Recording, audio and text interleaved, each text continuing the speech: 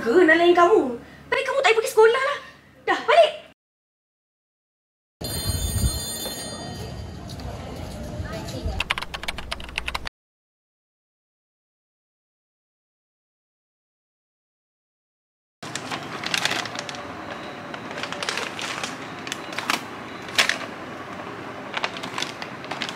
Balik kamu tak payah pergi sekolah lah.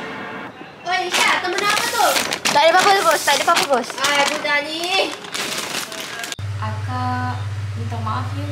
Ni je lauk yang kita ada malam ni. Sebab sekarang kan musim hujan. Jadi aku tak dapat hasil tori getah untuk beberapa hari ni. Tak apa kak, ini pun dah cukup. Isha dah lama kan tak datang sekolah. Rasanya dah 2 minggu Isha konten. Nanti Isha datang sekolah ya. Hmm, tapi saya fikir lah macam mana nanti. Eh mana Elsha ni? Patang hidup pun tak nampak sekarang. Ke dia sakit ah? Sebab tu dia tak datang kot. Tahu? Aku tahu kenapa Isha dah lama tak datang sekolah. Ha, kenapa? Hari tu aku nampak. Isha, kau ni bila lah nak bayar duit yuran sekolah? Penatlah cikgu dah tunggu duit dari kamu. Nanti cikgu, nanti saya akan bayar. Kamu ni saya ada masa ke nak layan kamu? Baik kamu tak pergi sekolah lah. Dah, balik. Baik cikgu. Ha, macam tu lah kisahnya.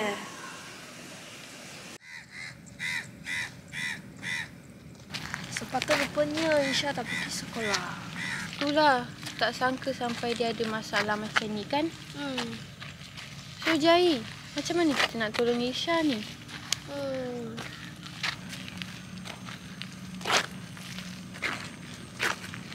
Ha. Aku ada idea.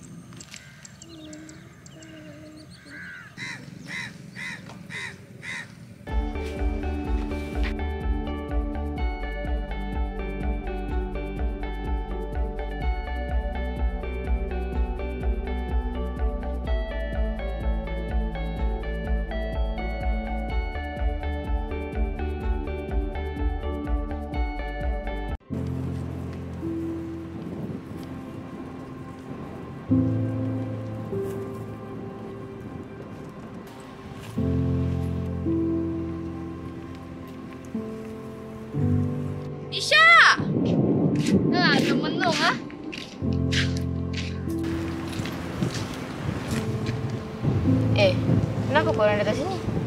Ah, kita tak tahu nak pergi ni.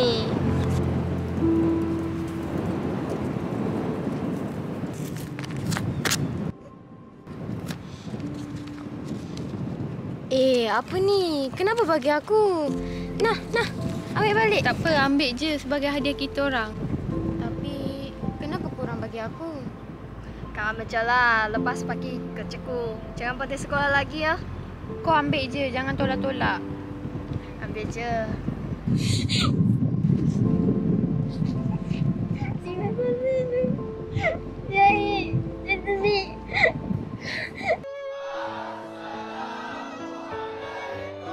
Cikgu, ni yuran sekolah yang saya tak bayar lagi. Saya minta maaf sebab bayar lambat. Isha, cikgu nak minta maaf sangat dekat kamu sebab berkasar. Cikgu tak sepatutnya mendesak kamu. Cikgu minta maaf ya. Tak apa cikgu, lagipun ni pun saya saya juga sebab saya pun tak bagi tahu masalah saya kat cikgu. Kamu ambil ni, simbol zakat. Kamu isi. Lepas tu, kamu bagi cikgu balik eh. Mana tahu insyaAllah sekolah akan bantu kamu eh. Eh? Terima kasih cikgu.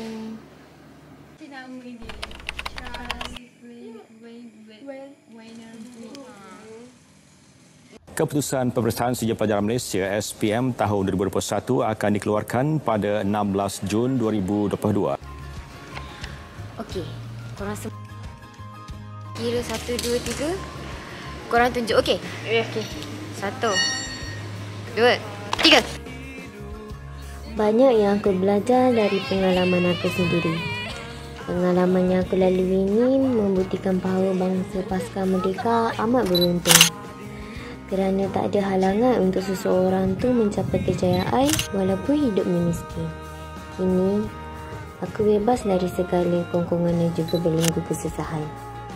Aku juga bersyukur kerana aku dikurniakan sahabat-sahabat yang sentiasa berada di kala aku susah dan senang. Perlainan bangsa bukanlah penghalang untuk kami berkawan. Bak kata orang, berkawan biar seribu. Akhir sekali, kebaikan dan keikhlasan mereka aku anggap sebagai mutiara. Di mana sinarnya aku pelihara. Itulah yang dinamakan mutiara bangsa.